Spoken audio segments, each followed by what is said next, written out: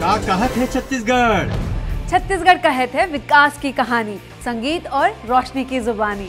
जी हाँ क्योंकि अब नया रायपुर में शुरू हुए हैं मध्य भारत के सबसे पहले संगीतमय फव्वारे और मल्टीमीडिया लेजर एवं वीडियो शो राजधानी सरोवर में लगे ये फव्वारे दिखाते हैं छत्तीसगढ़ की भव्यता, पानी और रोशनी के माध्यम से।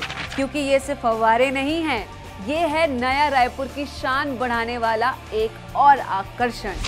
क्या आपको पता है? कबीर ज़िले में ऐतिहासिक गाँव पचराही में विकसित होगी छत्तीसगढ़ की पहली शासकीय गौशाला, वो भी करीब 24 एकड़ में।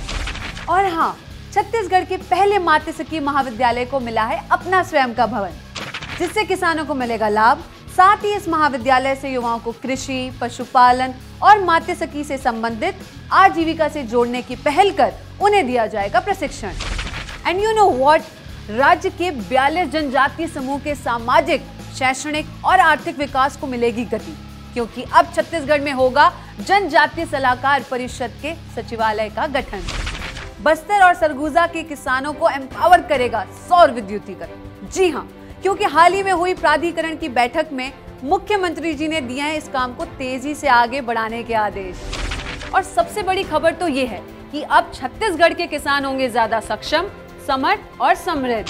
क्योंकि अब धान समर्थन मूल्य में हुई है प्रति क्विंटल दो सौ की अतिरिक्त बढ़ोतरी। है ना वाकई खुशी की बात? फिर मिलेंगे छत्तीसगढ़ के बारे में ढेर सारी अच्छी खबरों के साथ। जय जोहार, जय हिंद। का कहत है छत्तीसगढ़?